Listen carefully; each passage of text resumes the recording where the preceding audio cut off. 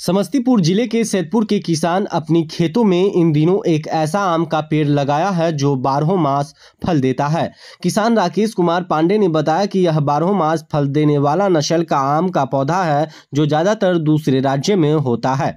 किसान ने बताया कि इस आम के पौधे से अन्य आम के पौधे के मुकाबले उत्पादन होता है। जब यह आम का पेड़ पहली बार हमारे खेतों में फल दिया तो हमारे गाँव के आसपास के लोग पूछते पूछते हमसे काफ़ी इसके बारे में जानकारी ली। वहीं किसान राकेश ने बताया कि जब हम कोलकाता घूमने गए थे तो उस दौरान छठ पर्व का समय था, परंतु उस समय में हम आम का पौधे में फल देख काफ़ी चौंक गए, जिसके बाद हमने इसके आम के पेड़ के बारे में काफ़ी जानकारी ली।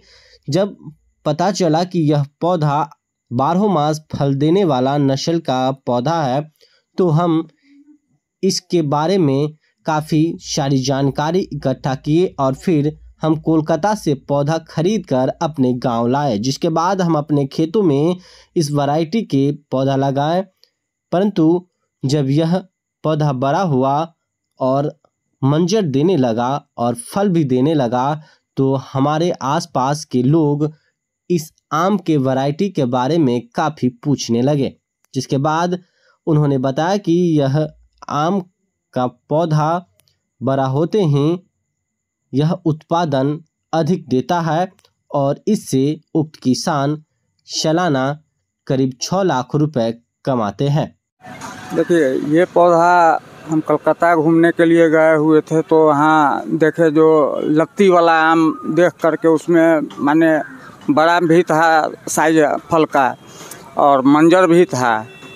तो वहाँ पूछे तो वही बताया गया कि जो ये बारह मास आम फलता है और जितना अन्य आम फलता है उसी हिसाब से इसका भी उत्पादन है।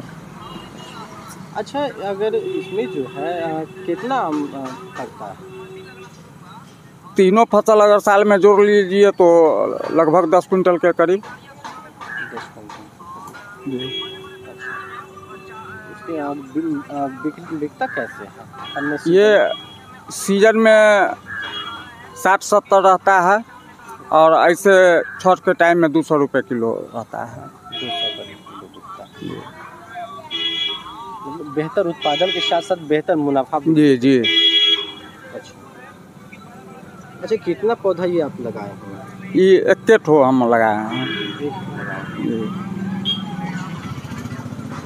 क्या नाम हुआ आपका? हमारा राकेश कुमार पांडे। कौन जगह है? सैदपुर।